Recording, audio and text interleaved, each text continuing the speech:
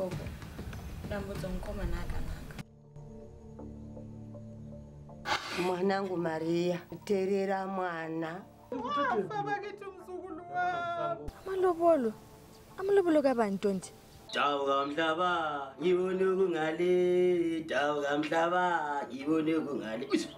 we are supporting the government in these road rehabilitation programs iwe tichadzoka